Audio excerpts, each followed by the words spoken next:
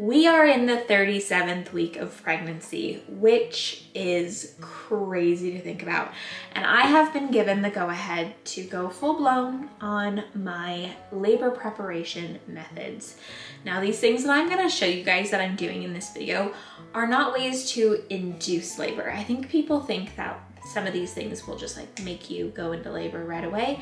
And that's not the case. It's just helping prep for labor. So helping the cervix, toning the uterus. These were all things that were recommended from my midwife. So I'm not doing anything that like maybe I just found online. And it's always good to talk to your doctor in your specific case to make sure that what you're doing is safe for you. So I'm just gonna show you guys, I was going to vlog anyways, and this is what I'm doing in my life right now is just these little methods and concoctions that I'm creating and enjoying and just doing in this chapter while we still prepare and while we wait for little girl. I've just, oh, this is not ready and I just got this need to go grab the other one, hold on. Okay, that other one I had just recently filled up. So I'm getting some ice. This is my red raspberry leaf tea and how I did this was I just put three tea bags in here. We have raspberry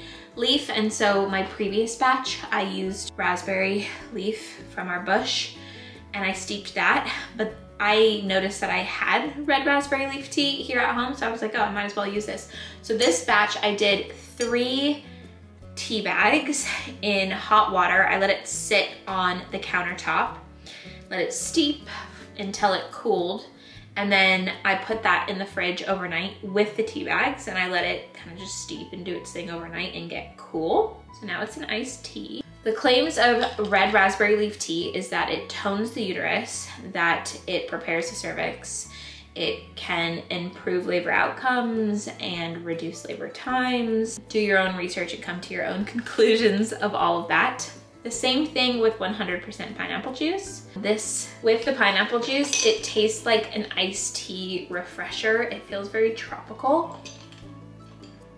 And because it's summertime here in New Zealand, it's actually just perfect. We have been watching a course online called Hatched Antenatal and it is from a midwife here in New Zealand, but she has courses worldwide. She offers it. I'll put her link in the description box. I've been really loving it.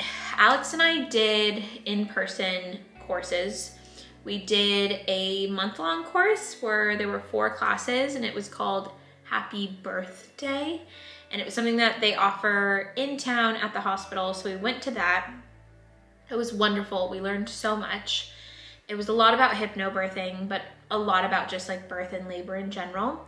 And then we went to a class called Spinning Babies, which I've talked with you guys about on YouTube, like on another vlog. I was telling you guys about how she was head up for a little while. She was breached, but then now she's moved. Yesterday, I went to my midwife appointment and she could feel her head like right in my pelvis. The Spinning Babies course, we've been doing all the positions pretty much every day and they offer Spinning Babies all over the world. There's only one course that you can go to in person here in New Zealand and luckily just by chance we have that class here in the area that we live in. The Spinning Babies course is all about encouraging baby to be in the right position. So you can look it up online. You can actually probably sign up for a course in your area if you wanna go in person. But the course just teaches different positions and exercises that you can do to encourage that and to help just kind of stabilize your body for birth. For me, educating myself on birth and labor is really helpful. When I feel informed, I feel more empowered and I feel like I'm more in the know about what's going to happen. If you are pregnant and you're nervous about labor, I highly recommend yeah, looking into educating yourself because it has helped me. Of course, I'm still a first time mom. I've never been through it yet. So I'm telling you guys where I'm at right now with it.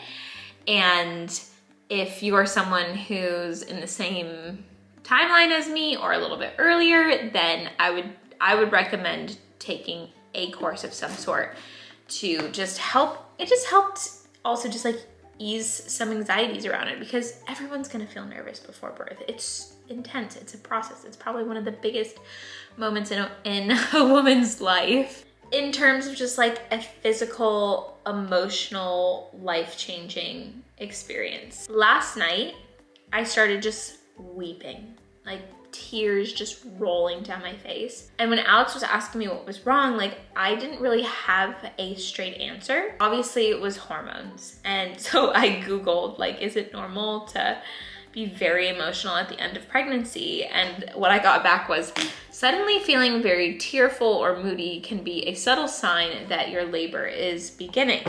Moodiness is caused by the changing levels of hormones in your body as it prepares to give birth. So that was like, okay, whether I'm not beginning labor right now or not, my body is going through such intense hormonal shifts right now. And that's why I'm feeling this like weepy, very emotional, lots of different feelings like really good, nervous, anxious, excited, happy, scared, you know, all of these feelings all in one. And just with that hormone shift, it just caused a lot of emotion last night, but I was able to get myself kind of out of it in, in this really positive space afterwards because of what I did in my night routine, which I'll show you guys as we move forward in this video. So the dates thing, a lot of people know to start doing dates at the end of pregnancy for all sorts of different reasons, primarily to prep the cervix. That's the whole thing, to make it soft and easier for baby to wiggle his or her way out of there. We've been harvesting a lot of plums lately. I'll show you guys. We have so many from the tree right now. Not that plums are any part of preparation for labor or anything like that, just a side note. Um, look how many plums we have right now. These smell so good. Plums just smell delicious. This is a big bowl. I don't know if the video shows you how big this bowl is, but it's ginormous. And then we've got this little basket where we've harvested the first pear, which the pear tree is not ready yet, but it will be soon and I love pears, I'm so excited. Pears and plums are probably my favorite fruits. We have some peach here as well that we've harvested from a peach tree that would never produce anything for us. And now it's giving us a little bit, which is nice after a lot of love and care over the last seasons or two.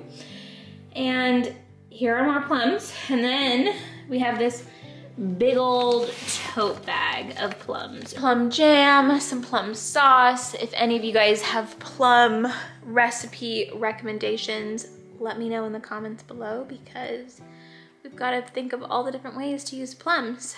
We don't have a ridiculous amount just yet. I don't know if we have more trees that we need to harvest, but we don't have a crazy, crazy amount that we can't handle we want to be preserving, but it's also a really interesting time in our life right now, obviously, because we have a lot going on. So preserving jams and stuff like that.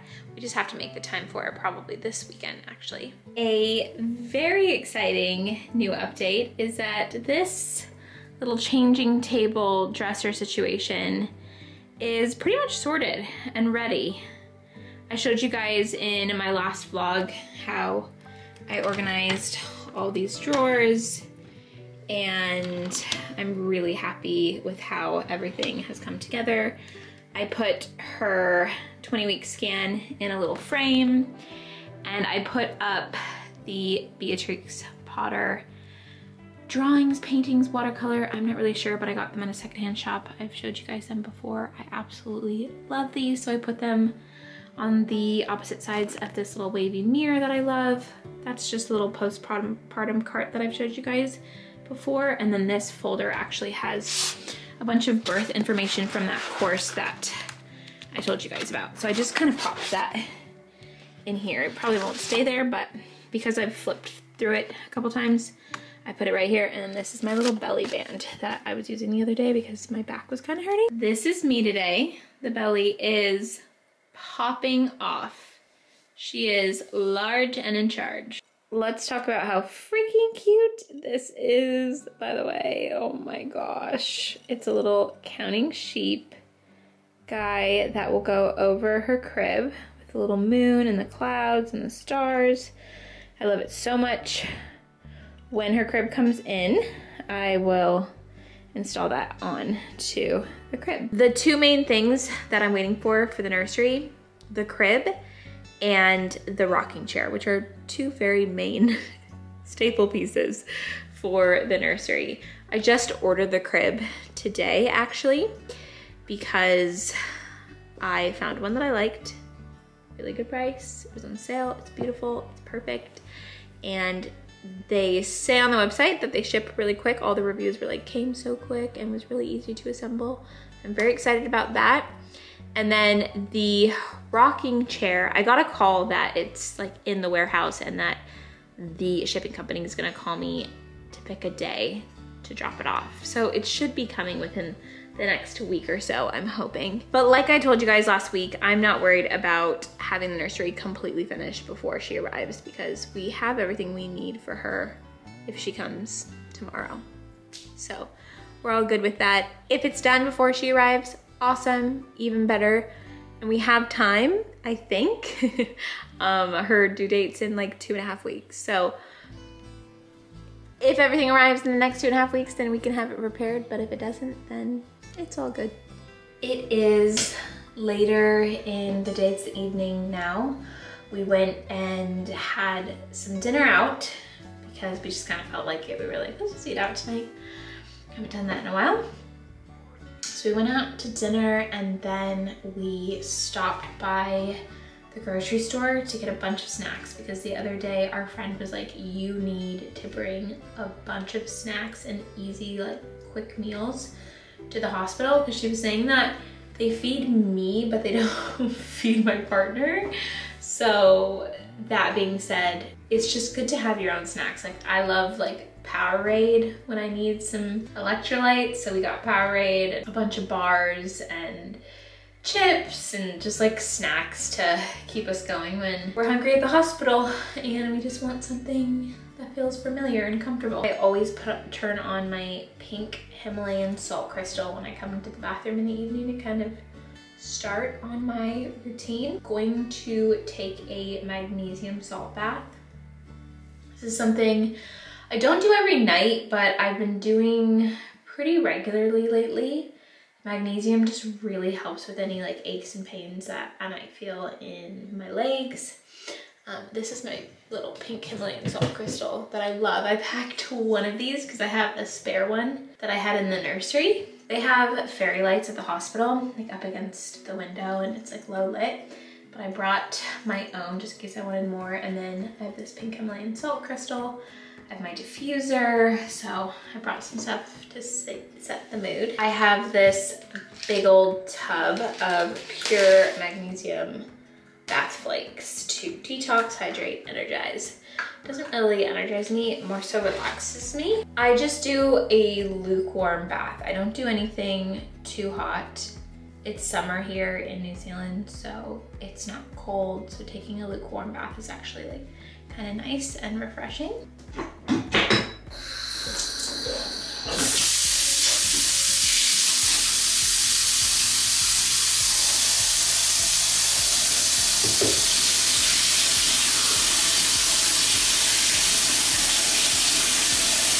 I've just put on some belly oil after the bath and I've put on one of Alex's big shirts and his boxers as well. Honestly, just for the sake of this video, I have been sleeping in the nude because I get really hot at night because when you're this pregnant, you run hot. When you're pregnant in general, you run hot. So I have to sleep naked lately, but I am currently on my birth ball.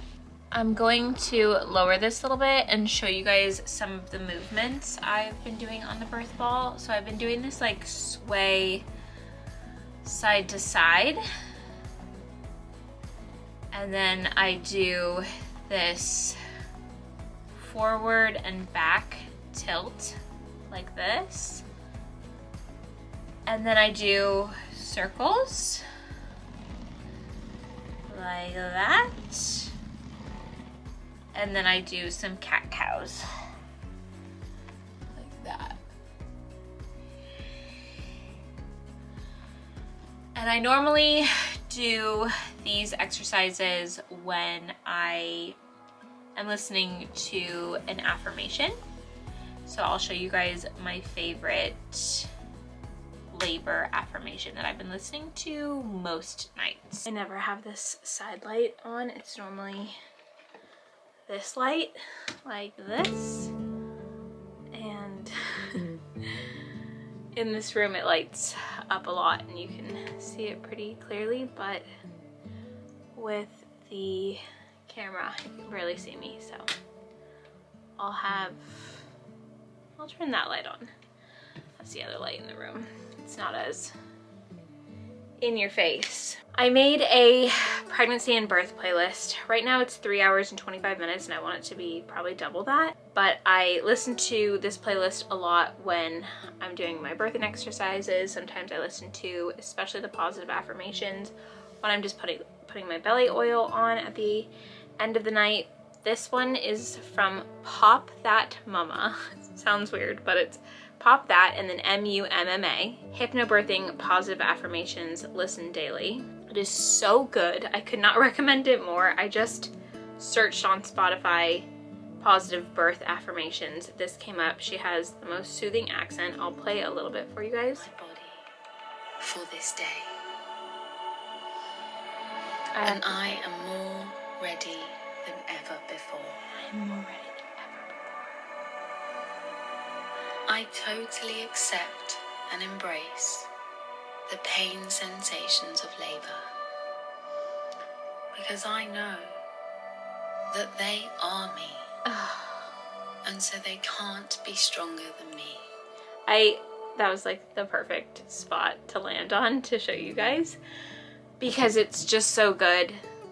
The things that she says just like hits you and I love listening to it. I haven't listened to it, to it tonight. I'm about to do that in a moment after I'm done speaking with you guys. Another thing I'm loving Ina May's Guide to Childbirth on my Kindle. Ina May's Guide to Childbirth. I will find the link for you guys and put it in the description box. Another thing I do in the evening, evening primrose oil.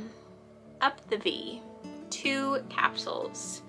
These were given to me by my midwife, so I don't know what the brand is or anything like that, but she gave me a week supply in this brown bag and then each week I see her because I see her every week right now. She gives me a new bag of these. They go all the way up the V as close to the cervix as possible and it's supposed to really just help prepare that cervix. The oil will help it just kind of loosen up so that it can just glide right out of there, right? Because it's gonna be that easy, just I am so unbelievably tired now, so I am going to build myself a little fort.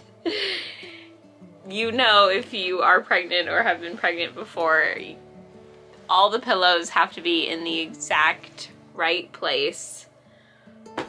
If they're not, it's impossible to sleep. So I'm going to make my little cocoon over here and I'm going to go to bed and I really hope that you guys enjoyed this video. I feel like there was a lot of information and again remember I'm I've never done this before so I'm just telling you guys what I'm doing right now to prepare and what my midwife has recommended for me to do and just wanted to bring you guys along with kind of what yeah how I'm how I'm personally preparing. I would love to hear advice from you guys who have already given birth and who had a positive birth experience. I have had quite a few followers message me on Instagram with their positive birth stories. One who just recently gave birth. She gave me some tips and I've been doing the tips and so I'm very open to all the advice that you guys have for me. Thank you for watching and I will see you very soon in a new one.